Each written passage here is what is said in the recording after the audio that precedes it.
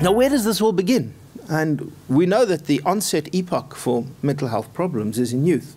So, if we're going to try and prevent depression at a public health level, we can't start early enough. And data in adolescence is compelling.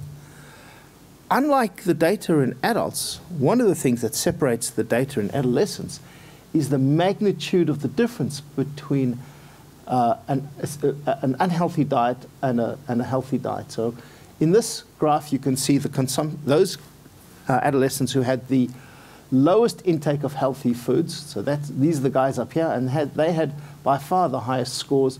The people who had the highest intake of healthy diet had the lowest rates of depression.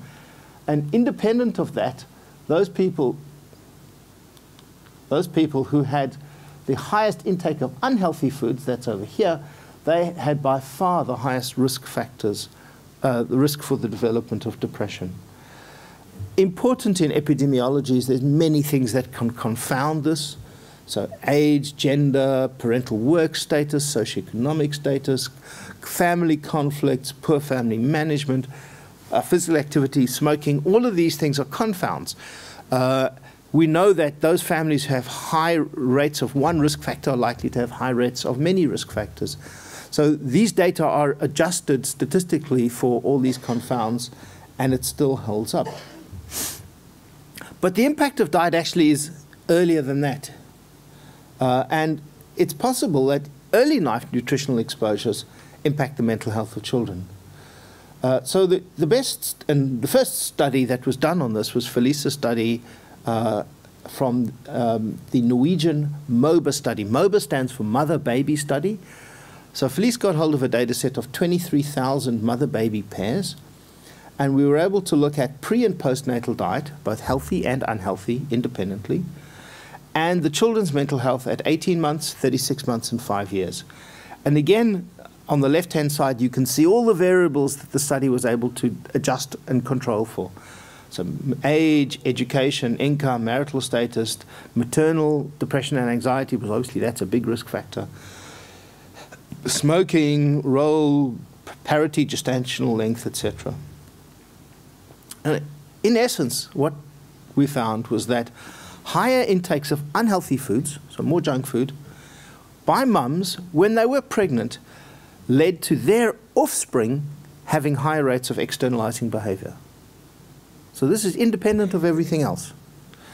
If they had if the kids had more unhealthy foods in the earliest years of life, they had more internalizing and externalizing behaviors later on.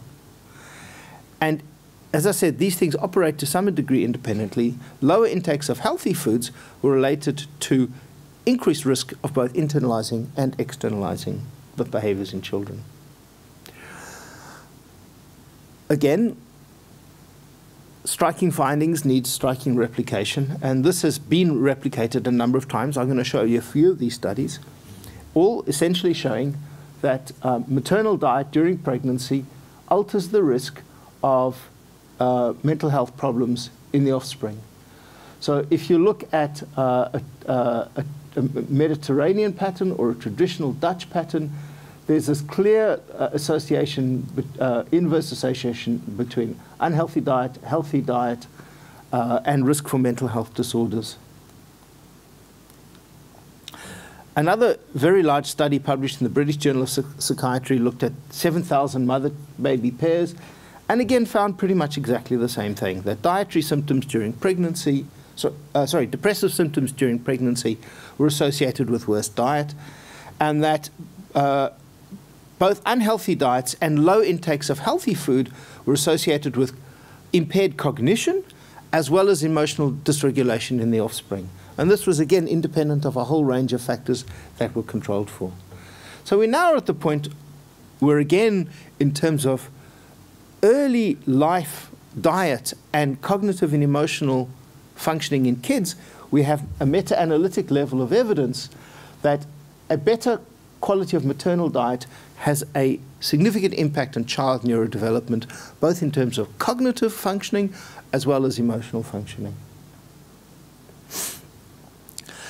I'm not going to spend much time talking about animal studies, but they essentially tell us much the same thing that a diet has a profound impact on many of the neurobiological pathways that modulate mood. So we know that diet quality influences the methylation pattern and patterns of gene expression of key mono, uh, neurotransmitters like dopamine and opiate genes. And we know that uh, it also leads to perturbations in the serotonergic system. Uh, this results in increased anxiety in females in animal studies and increased aggression in males. So internalizing type symptoms in female rat, uh, uh, and preclinical studies and uh, aggression in males. We also, this, the preclinical animal studies also tell us that increased sympathetic nervous system activity persists into adulthood. Um, and that if we look at those pathways that I'm particularly interested in, which is uh, neurogenesis, oxidative stress, and inflammation, that if you wean offspring of rats onto a high fat, high sugar diet, leads to persistent upregulation of inflammatory oxidative pathways and a reduction in neurogenesis, as well as the presence of mitochondrial dysfunction. So, all the neurobiological pathways that we now think are driving depression in humans are dysregulated in preclinical animal studies by poor quality diet.